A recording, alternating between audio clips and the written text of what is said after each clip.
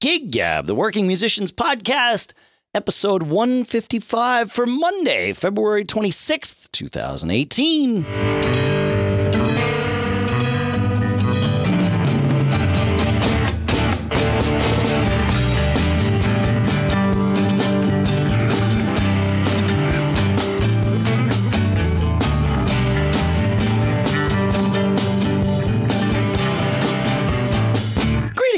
Folks, and welcome to Gig Gab, the podcast by, for, and about working musicians. For the first time, sponsors for this episode include TuneLicensing.com, uh, where we'll tell you how you can save 15% off of licensing cover tunes that you want to release. But we'll talk more about that later. For now, here in Durham, New Hampshire, I'm Dave Hamilton. And here in Los Gatos, California, it's Paul Kent. How you doing, Mr. Kent? I'm doing great, man. We have a sponsor for the first time. Kind of exciting. It is kind of exciting. Yeah, I actually I guess we should we should kind of tell people how uh, how we've thought about this for a while because I you know I've been doing uh, a sponsored podcast for almost 13 years now. So the the concept of this is nothing new. Of course, I run a company called Backbeat Media that uh, manages and sells sponsorships on a bunch of podcasts, now including this one. Um, but uh, but this is our first sponsor that we've aired here. We've had some interest from others. We really didn't put this into the sales pool until semi recently because we kind of wanted to establish this show, right? We wanted to do what we wanted to do. It's not uh, it's not just a money grab for us. In fact, thus far, it hasn't been a money grab at all. uh, we love doing it. You know, it's all of that, uh, and also to, to be fair, uh, it you know having sponsors on board when the listenership is like low when you're just starting out isn't necessarily uh, the best thing for long term success. So you know, in three years we've built this thing, and you know we hear from people all over the world. We all certainly all over the U.S. Yeah, and uh, you know the the the listens are have steadily you know climbed and you know it's out there so it's kind of cool we did get approached if i recall right several months ago by a let's just say uh, product that was tangentially interest of interest to our audience. It wasn't it wasn't a music product. Right? Do you recall that? I, of course, I recall that. Yeah, we'll, we'll stay we'll stay away from the brand, but um, yeah, we and it's actually a brand that some of our other shows were happy to take. It, it it's fine, but but you know, uh, Paul and I had this conversation. Like, do we want our first sponsorship to just be something that's out there? Just because they're podcast sponsors, and the answer was no. Uh, and all the listeners obviously. would be like, I don't get it. You know, they're right. just they're just taking in money. So having tune licensing, something that's a direct hit to the people who listen to the show, I actually am really I'm really excited about that. I think it's really cool. I mean, it's you know, you and I love doing this and we put a lot of time into it and you know, we want to continue to do it and put a lot of time into it and just you know get a little compensation for our time in and you know providing a good service to the sponsor by giving a little access to the people who listen I think this is a pretty holistic relationship. It's that's the idea. That's right. So we'll talk more about that later. But uh, we'll get. Yep. Well, in fact, we'll we'll we'll do the official read later, uh, as we would normally do. But uh, yeah, it was good to have that. Like, yeah. Well, anyway, just doing. yeah. Yeah, and thanks to licensing for for joining in with us. So we'll talk about it later. Yeah. I had a very very interesting Saturday night. I had a gig Saturday night. Okay. And uh, so the gig is in a town. It's about half hour from me. Um, the venue is really interesting. It's a, a, so it's a small town that has a small downtown, and there's a, a theater that got turned into a music venue. Excellent stage, excellent lights, excellent sound because it was a theater at one time, really big dance floor, and then you know, nice bar and and uh, and you know, kind of different types of seating from like you know, seating along the walls to a couple of high high top tables and that type of thing. Sure. Um,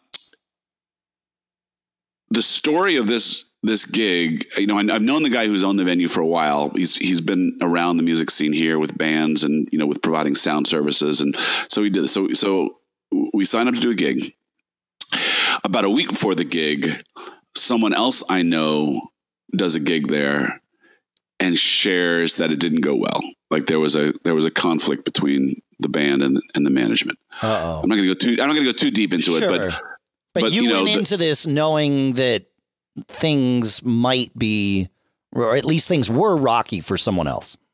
That's it. And so you know, I, I, you know, there's always two sides to every story, Ab- right? That's so, the first thing to remember when you hear that kind of stuff. Everybody needs to vent about the thing that they need to vent about, but and that's cool. But, yeah. But so I I contacted the owner and say, hey, you know, I'm aware that this one artist has said there was an issue. I'm assuming there's two sides. I, you know, my dealings with you have always been fine, uh, but you know, just a little bit of a pink flag. And he's like, yeah, you know, there is two sides to it, and you know, but and we reaffirmed our agreements, uh, the times, the the play times, the set loading times, uh, the money, uh, and all that type of stuff.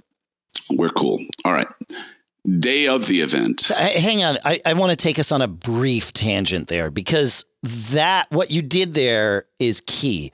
Not, not only because you heard of this other issue, like just like saying it right up front, like, hey, look, I'm not calling you to yell at you. I'm just calling you to let you know that right. word got around, but also uh, whether or not you've heard of any problems, this concept of calling the club, you know, week of, especially a new venue for you, whether it's a new venue in general, but a new venue for you, calling them week of, saying, "Hey, I just want to do essentially an advance, right? That's what that's what this is called, where you call up, you make sure, all right, what do you need to know from me specifically about this gig? What do I need to know from you? Like what time can I load in? What are there any specifics about where to park?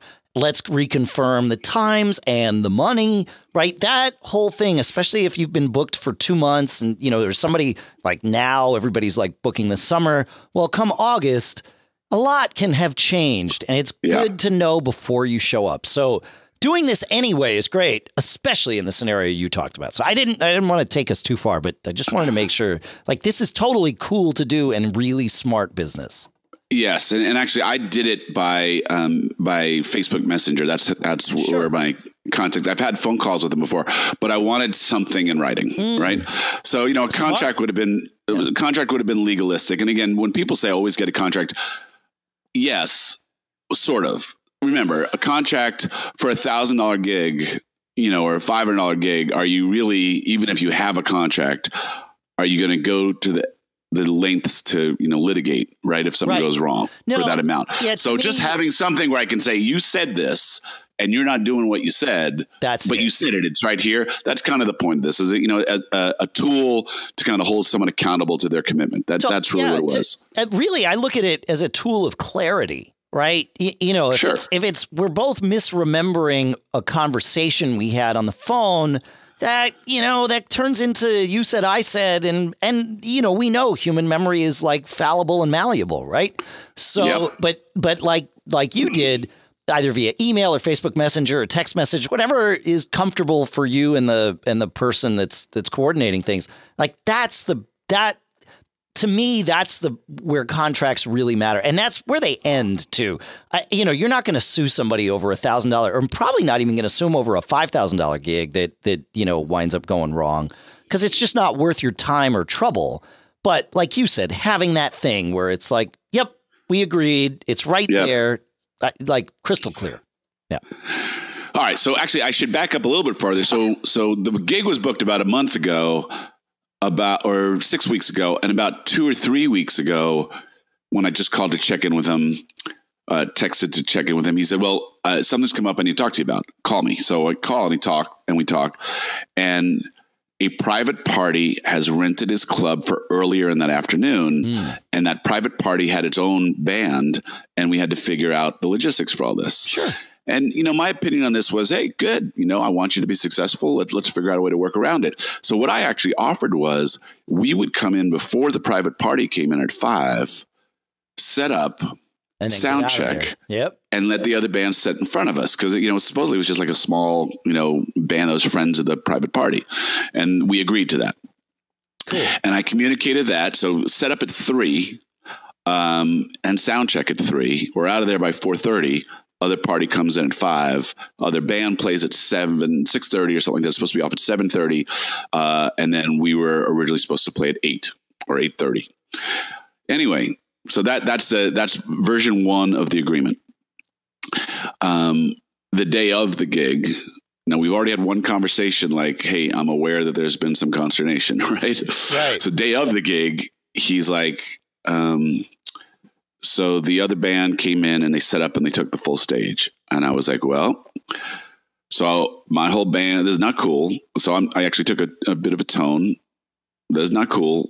My band has, you know, made arrangements to be there at three o'clock for an eight thirty downbeat. You know, we've we've rearranged days. One guy was even coming from a family obligation where he was working around this to get a three o'clock setup for a nighttime gig. Sure, yeah, that's and so that's, it was like that's like, and my guess is you're not that. To me, that schedule is very reminiscent of a wedding or function gig, but my Right. guess is the money that you were getting is probably not reminiscent of a wedding That's or right. function gig. So yeah, that's right. yeah, So he's saying this, and I'm like, dude, this is not cool. You know, you're, you're causing me a problem with my band, you know, because I made a commitment to them and they made their plans around this. It's not cool. He goes, like, I know, but they, you know, they're already in, they're already set up.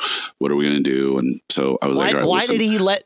I'm, I was just going to say this. I realize it's rhetorical. Why did he let them come in before you when you, he knew you were coming in before them? the only explanation I could possibly give is that he didn't. Sure. He must have had a manager who either yeah, didn't know or didn't stop it or whatever. But, but, but, you know, it happened. like I said, it's So- rhetorical, right? Yeah. I let him know, not cool. I immediately got on the phone, called my band, said, "Hey, new, don't show up at three. Uh, I got a hold of the guy who was had a family obligation. I said, now be there at seven fifteen. Other band is off the stage at seven thirty. Uh, and then if, if we have a late start time because of this, you know, we'll, we'll, we'll make sure we get set up and everything's right. But So this is yeah. the new plan. Yeah. All right. So we all get there, 715. Um, we're waiting, loading an area and the other band is on stage. It's 7:30. They're they're still playing. It's 7:45. They're still playing. It's eight o'clock. They're still playing. Eight fifteen. They're still playing. At, at 7:45, I went out and found the guy, the, the owner. Like, well, what's Yeah. the deal? He was like, no, no, this is the last song. Huh. And then and then when it kept going, at eight o'clock, I went and found the guy and said, all right, dude, uh, this is going off the rails. This has been rocky here. And you know, the the last band that he had the problem with that, that I referred to in the beginning of the conversation, Yeah. they actually they walked on him. Oh, They, they actually walked. Uh, so he knows that that's a possibility that I know about. So eight o'clock, I go find him and I'm like, you know, this isn't cool. Again, you know, we've rearranged our day for this. And now, you know, it's three things that you've made a commitment to me that aren't happening. And now I'm worried. I said, dude, I need to be paid before we take the stage, before we lift a finger. I don't know where this is going, right? I, am gonna So- I'm gonna stop you right there because this right. is a perfect time to tell everybody about tune licensing. I know, I know, but it is right because, uh, like, I, I- don't want to. I don't want to cut this story short. I have a feeling not only are we going to talk, uh, like, we're going to hear the end of this story, but we're going to hear, like, there's going to be a lot to dissect here. And I don't want to push our first sponsor spot all the way to the end of the show just because we're on a roll. So I was looking for a spot to stop us, and there it is. Fair enough. Yeah. Go. So, uh, yeah, like I said, tunelicensing.com. Uh, and I'm going to tell you this up front. I'll tell you it at the end too. But coupon code GIGGAB2018. So G I G G A B 2018 gets you 15% off of their licensing fees. And the what they do is remember when Paul made that album of cover songs? He needed to get licenses to be able to release those cover songs. Here's where things get interesting, right? Um, there's two ways to get that license. One is to actually get permission from the artist or from their publishing company. They don't necessarily have to give that to you, but that's the best way to do it. If they don't, then you have to send their publishing company and prove that they have received a letter of intent. Uh, in order for, and that letter of intent has to be received before the song is released by you. Otherwise, they can stop you. Now, any song that's been released by anyone else uh, can be released by you, that you don't necessarily need permission, but you do need to get the license right. And if you don't do it right and you don't understand what right is, you could be in a scenario where you put out a CD or whatever, you release it, you know, online or however you want to do it, and the artist or the their publishing company comes back and says, "Nope, you didn't cross all your T's and dot all your I's properly. We demand that you take that down." And that can be not only a real drag, but it can really be a problem because some like it, like a lot of us are out there doing cover songs, playing cover songs. You can take it to the next level by releasing them and actually using that to market yourself. And, you know, history is filled with examples of bands that have really hit playing cover tunes. You know, I'll throw the Black Crowes and Van Halen out there as mm. right as some bands that just do that. You need to get it right and unless you're a lawyer or really enjoy thinking like one, you need somebody to take care of this for you. And that's what tunelicensing.com does. They are really smart. They know everybody that they need to know. They know how to dot I's and cross T's. And not only that, they like it. These people love to get this stuff right. And they're the people you want on your side. So uh, you go to tunelicensing.com, you pick the song or songs that you want to uh, license. They have this huge database, and then uh, on your on checkout you enter in giggab2018 and you save 15% off of their licensing fee. Again, this is tunelicensing.com and coupon code giggab2018 at checkout saves you 15% off their licensing fee. We're going to be talking a lot about Tune Licensing. They're a sponsor for a little while here. So we've got some other things to uh, to share, some interesting anecdotes as well. But uh, but for now, just know what they do and why they do it and why you need this. Really yeah, it's important. very cool. Yep. Our thanks There's, to Tune Licensing for sponsoring this. Absolutely. Episode. Thanks to Tune Licensing. There, I know several bands right now that are not just recording demos because really demos are more often video than anything right now. What they're doing is they're going in, they're recording 8, 10, 12, 15 songs and then pressing them into CDs or putting them out because their their fans want more. They you know can I buy some of your music? And uh, so so I know several bands right now that are that are cover bands that are recording covers, their versions of covers, and selling them as another revenue stream. So you know this is particularly particularly useful at this time. So uh, it seems to make a lot of sense. So cool. Cool. All right, back to my story. Back to your story. Now, actually, I need to I need to back up even a little bit more. So I'm driving to the gig, and um, I get a text message from one of my band members. Is like, "Dude, did you see this?" And he shares a Facebook post while I'm driving to the gig. So we're about six six p.m. The venue has posted on their Facebook page. Uh, just want to let everybody know that uh, the building is sold, and you know we're trying to work on a on a new lease, but uh, you know it's not looking great, and uh, this might be the last night for the venue. Oh. So my guys are like, they're not even going to be there tomorrow. We are not getting paid for. So they they know about the other band that had a problem. They now know that they that that something weird happened, and their their setup time is not three o'clock; it's seven fifteen.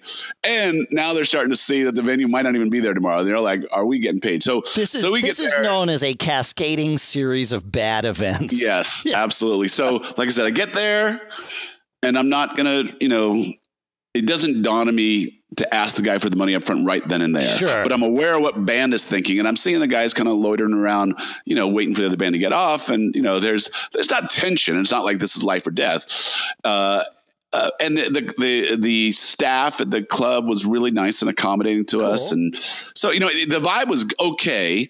The first time I met with the owner when I first walked in, you know, he's like, "Are we cool?" You know, that type of stuff. And I like, yeah. And so then I went to wait for the band to get off. And then when the band didn't get off, you know, and then the second time when he said the band was going to get off and they didn't get off, that's what I went back and said, "Dude, listen, it's been bumpy to hear." You know, you let everybody know that this might be the last night. My band is back there asking if we're going to get paid we're now you know way behind as to where we were where you said we were going to be i really need to be paid before we lift a finger and he goes i get it he just said i get it walked away. I went backstage. He showed up an envelope, and you know, before the other band was off stage, we were paid. And wow, and and uh, you know, everybody was calm. And then as a kicker, it was a great freaking gig. Like I said, the room was fantastic. It was so nice to have a big stage like that to entertain on. We, you know, like you've seen us, sure. we are usually elbows to elbows, 10 people on little stage. You know, it's like a clown car packing us all in, those types of things. Yeah, the, the gigs room. I did with you were where where luxurious stages. Yes. yes, ridiculously so. Yeah, yeah. No, but this was like a nice big, you know, theater stage, mm. room, you know, room to play off of each other in the band. You know, the guy, the horn players, when they were taking a solo, would step up to the front, and and uh, you know, just a lot of interaction. Sound was great, huge, huge sound. Light, you know, pro light system. Everything about the gig was fun. People got into it. We played great. So an interesting day of ups and downs. And, and, uh, you know, like you know me, so it, when seven thirty came and the band kept going, the first song I was like, hmm. Then when it was seven forty five, I felt like we were being disrespected and I had to figure out was well, the you, other band just going off and nobody was going to take them off, or were they approved to? Was right, the owner just being true. a coward and saying, "I don't want to bum these people out. They paid me for a private party here." You know what was going on, and so I, you know, my tension was going up a little bit. My guys in my band know me when I get that way, and they're like, "Dude, just breathe. It'll all be all right. You know, let's just take care of business." And uh, so it was an interesting day of ups and downs, and and uh, culminating in a huge up. I mean, the gig was That's three hours so of heaven. Awesome. That's great. It's nice when you've got like all that stress and and the stage almost becomes the release, but but it's not just like it's not just you, right? The, the rest of it all has to fall into place too. So ah, that's good. Yeah. I'm glad to hear it, man. Ah, that's good. Yeah, if I would have had to start the gig knowing what I knew, wondering if we were going to get paid, and and on in the back of my mind wondering if I was going to have to do battle over this type of thing after the gig, it definitely would have been would not have been an enjoyable situation. That's an interesting comment, man. That getting paid ahead of the gig actually might be a good thing for the club owner to do. Uh, if there's a, if there's reason, especially I would say if there's reason to think that maybe things wouldn't go according to plan, but even like it's a nice gesture, especially like once the band's set up or whatever. I've had a lot of clubs. It seems more so lately, just come up and say, "Oh yeah, here's you know here's your check" or whatever. And and that's a nice thing. You're like, all right, cool. Now I want to do a good job here uh, as opposed to oh yeah at the end of the night that's right we still got to run around and find the guy you know in yep. order to get paid like that that part sucks for club owners that listen here uh, that is one of the worst parts of the gig is like not only are you trying it's late you're you're tired uh, probably really sweaty you know and you've got stuff to do pack up and then drive home and to have to carve one person out which is usually how it works and say don't worry the rest of us will pack up while you go and like stand over at the bar doing nothing for 20 minutes while so and so you know comes around. And and it's now they take their sweet time to do it uh, and we realize you know the, the managers at the clubs uh, also have things to do at the end of the night right? Like that's a that's a busy time for everyone it's better to get it out of the way ahead of time it is and, and it's interesting um, you know, you've experienced a whole range of stuff. Like there's this odd tension where the guy knows you're waiting to get be paid and and you know why isn't he moving as quickly as you think he would is something you know there's just yes. there's often when it comes to getting paid there's a there's a, a strange vibe to it. Like, you know, when you have a good relationship with the club, you know what the rhythm is. He likes to go count his bar before he pays you or, you know, that sure. type of thing. Yep. So, so there's that. But, you know, in new places or, you know, God forbid in places where it's not a great draw night and there's a guarantee or, yeah. you know, even worse, you know, we've had, we've had a club where we've started doing the door ourselves. They can keep someone there with us, but you know, it, the numbers didn't feel like they added up to us the number of people at the club versus what we got paid when we're getting paid based upon the door. And so, you know, there's the, that type of weird, you know, overhead of things sometimes. So uh, yeah, getting paid is a thing. You know, you want to keep thing. it as copacetic and, yeah. and you know chill as possible. But I would say that the net net of this is that the the club owner and his staff ended up being really nice. You know, cool. That's great maybe not a great manager.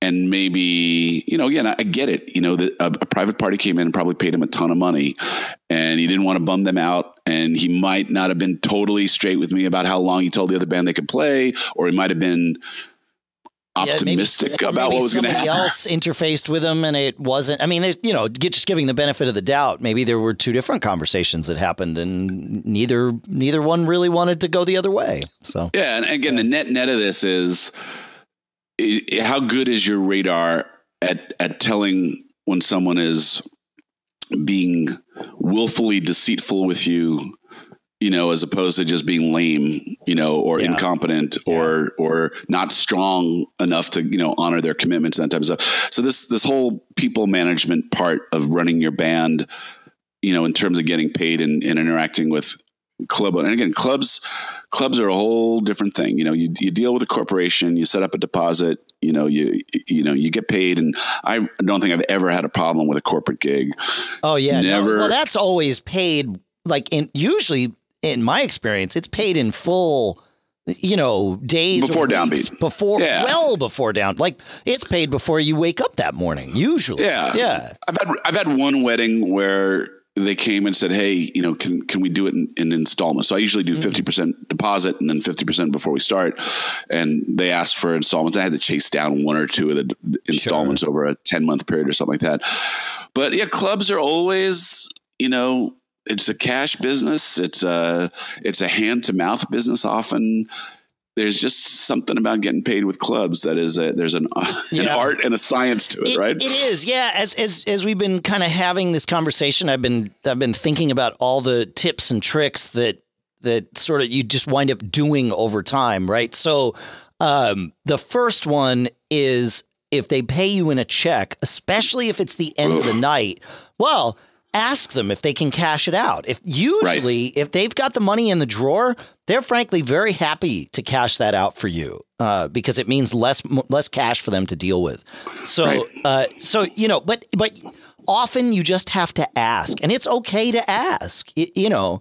Um, so that would be my my first tip is just ask. And if you get a check at the beginning of the night, when they give it to you, ask them, say, you know, do you mind if I come to you at the end of the night and see if you can cash this out? Some places will, you know, say they have a, and maybe they do have a policy where no, we just don't cash any. Okay, fine.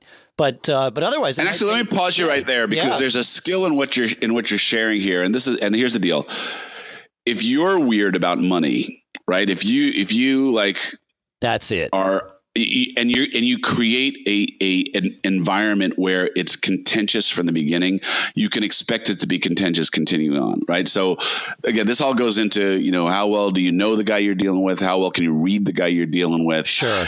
But but a business conversation on its own is a totally valid thing to do right? Absolutely. and all this there's stuff. nothing weird about this and right. that's right. Unless you make it weird or unless, unless they make it weird. Yes right Right. But but on paper, like you, this is a conversation in in theory that's already happened, right? That you know you're yeah. going to get your thousand bucks and or your five hundred, whatever it is. You know, like that's all decided in advance. There's just this last minute little logistical dance that happens, and d- there's no reason for that to be weird. And and again, if you get the check at the beginning of the night, hey, thanks, that's great.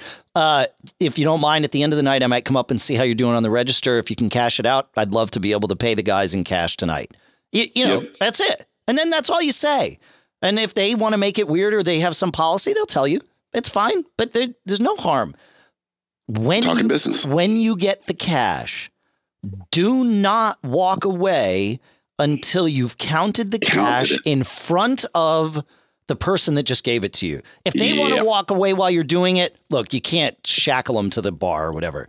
But just, hey, thanks. I'm just going to count it here to make sure we're all good.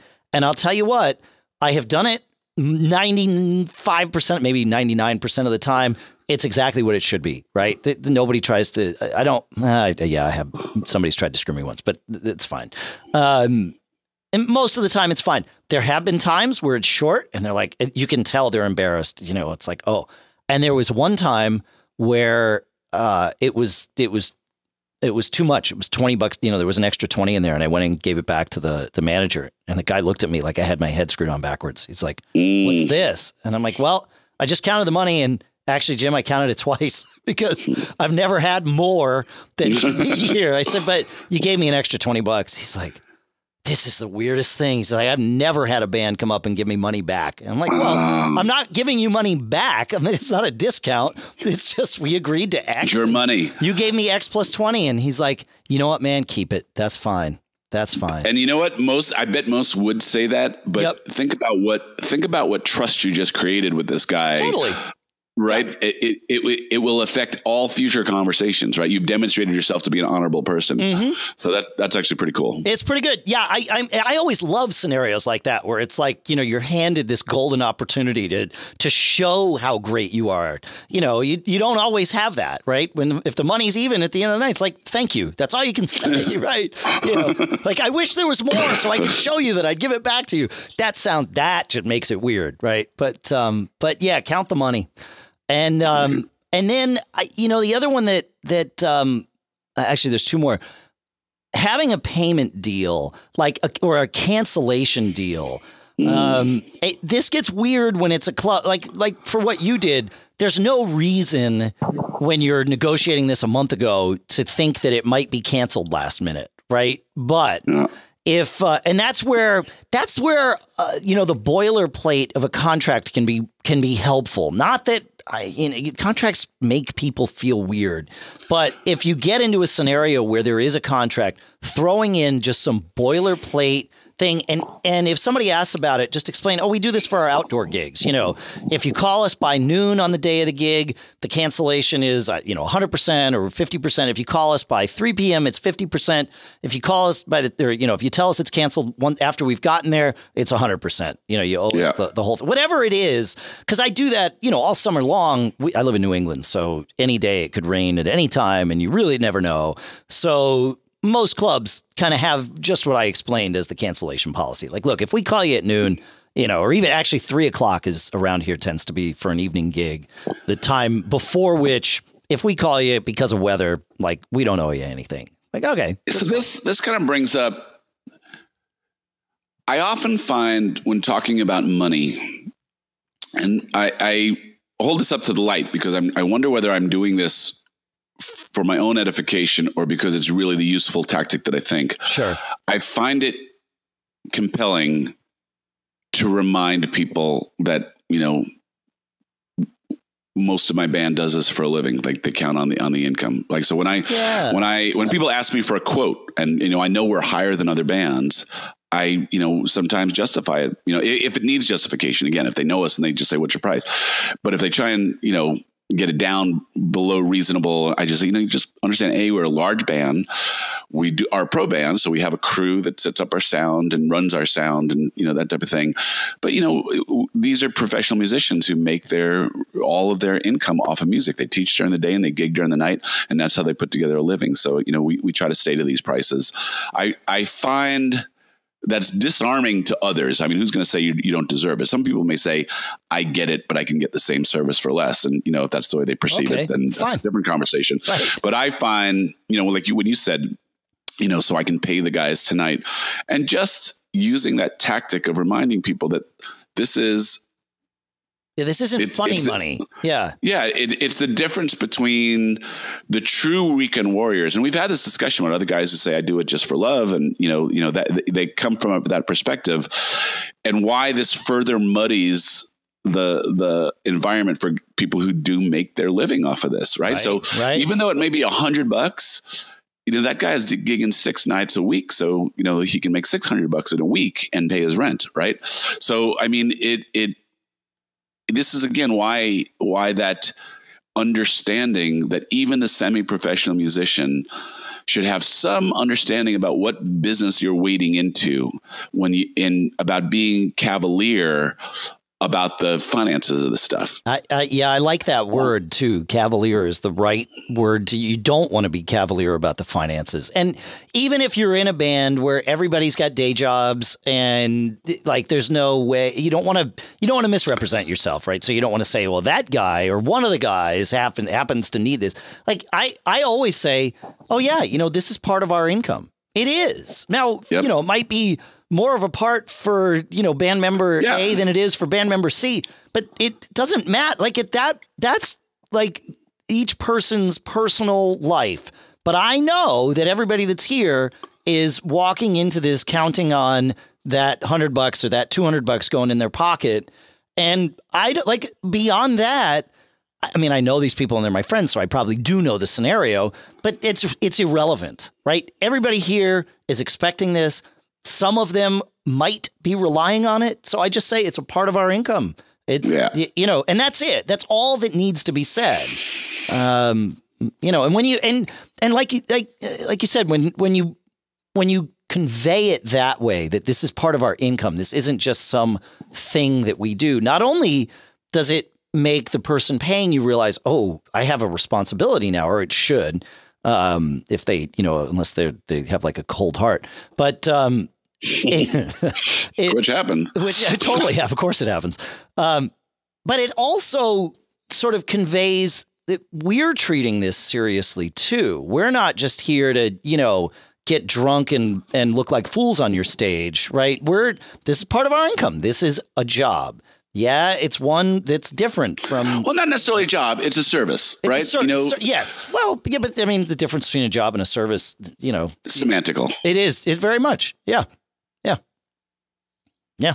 So interesting. Yeah, and uh, the last little tip that uh, that I had was the nice part about the pay in advance gigs where you know you wake up that morning and the and the gig's already been paid for is it leaves room for tipping at the end because they sometimes feel like they want to come up and give you something even though they've already paid you for this great performance you just right. gave everybody's really happy at the end of the night and weddings and parties especially man you know especially if it's well weddings people always want to like you know spread their money around and uh, and parties. You know, if it's like the the if you wind up playing a party for a company with an overly egotistical, you know, manager or CEO that wants to show that they're the ones with the money, well, there's nothing wrong with being there to receive it for them.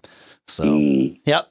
So tips, you know, it's not a bad thing, man. I've had I've had good tip nights at like weddings and corporate parties. Those can those can be nice little an extra, you know, an extra hundred bucks in your pocket just for being in the right place at the right time. I have a quick aside on, on yeah. a tip situation. So this is Acoustic Madness, the trio I play in, had a gig about a month ago, and uh, it was at a really nice wine bar in a kind of a corporate, actually really close to Apple's new campus, and um, oh yeah and so there, you know, there's different types of people. There's, you know, people meeting for a glass of wine. There was, you know, clearly people who were there on an after work get together type of thing. And one guy comes up and he requests Hotel California. I say, yeah, we know that one. We can do that. And I never say you have to tip in order to get your request. You know, many people understand that type of thing. That that's just kind of a good, sure. good manners type yeah. of thing. But I was like, uh, yeah, you know, we'll, we'll, get to that one.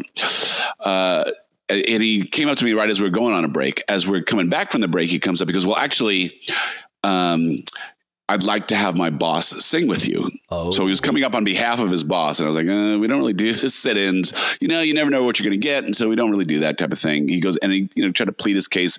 Clearly his boss had sent him on this, right? Right. Yes. Right. Next break, the boss himself comes up and says, I'll tip you 50 bucks to let me sing with you. Now, this is an interesting point, right? Huh. Yeah, so a, and it, there's a decision to be made now. You can't just like push it made. off. Yeah, That's right. And um, I, I, guess I'll, I'll say we turned it down actually because yeah. we didn't want to be get into that business of selling karaoke time.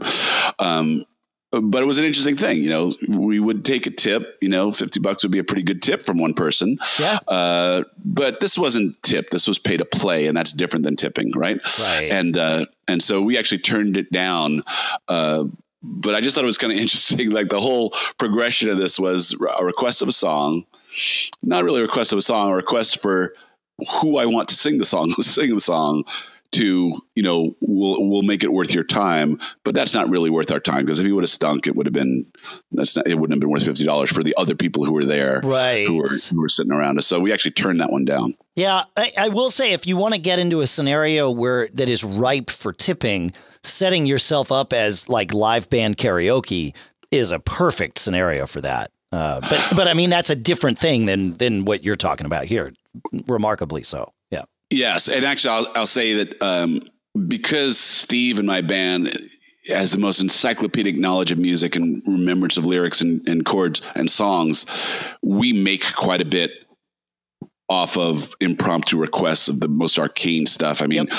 good lord, he did a he did an acoustic version of YMCA that we all just kind of got on. It was just weird, but you know, it, it made that person happy, and yeah. you know, and the audience got a laugh out of it, and you know, that's actually one of the really remarkable things about Acoustic Madness is Steve. We start with Steve as his encyclopedic knowledge, Mary Ellen who can harmonize to anything, and then I can follow along, you know, fairly well on on uh, agreements, and usually by the second time around, I can add some something vocally. And so, you know, that, that's part of coming to see us in certain venues, yep. right? That it's become that type of thing. That's what, that's uh, what Monkey Fist is like when, when we have Maddie on guitar. Cause he's, he's like Steve. It's that, it's that same, like if he's heard a song once, he knows a chord structure that will work for it and knows all the lyrics. So like, that's great, man.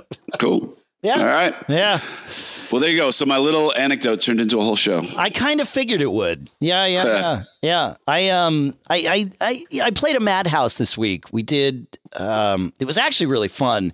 We it was our season opener for Mad Haus, and uh, and there's actually a bunch of videos online. I will share a link to the group where those I mean it's describing Mad Haus is really difficult um, so it's easier to just kind of see some of it.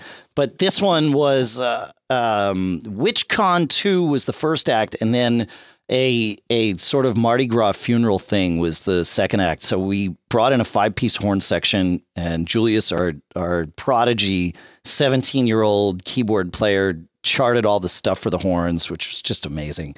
Mm. and um, and we wound up playing a lot of second line groove kind of stuff. A lot of those, you know, the, like those Cajun grooves, and, and it's you know, it's like that Little Feat stuff or the Dr. John stuff. Love it. Yep, but it's a really weird thing for for a, a band to play because especially a band that's not playing that stuff. I mean, we play different things all the time. And those second It's hard to fake that. That and reggae are really hard feels you know that if you're if you're to pardon the phrase but if you're too white about it yeah. it really it falls apart it gets too stiff and it's not the right thing well and the key to that that cajun stuff and and perhaps I'm not using the right term, but I mean that's that really is you know Cajun and then Zydeco kind of yeah, together. Second but, line, but it it's that well, it's where there's there's literally two grooves happening on top of each other. There's that double time kind of da, da, da, and then and then a half time you know, and and making those sort of fit together while they're almost fighting each other is really where the groove happens, right? Because it's neither double time nor halftime. It's it's like that that that thing that happens when you're trying to do both. And and the good news was we had a full day of rehearsal beforehand.